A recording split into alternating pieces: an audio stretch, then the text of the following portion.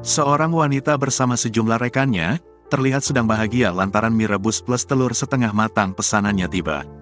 Mereka sengaja merekam momen itu, sekaligus bisa dipamerkan ke followers media sosialnya.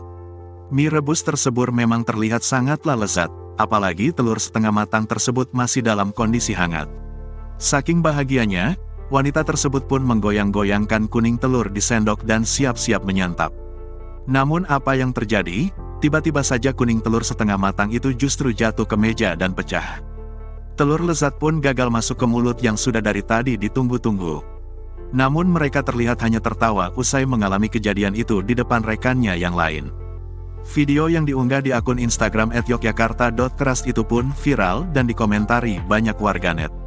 Banyak juga warganet yang ikut ngakak melihat aksi wanita-wanita itu.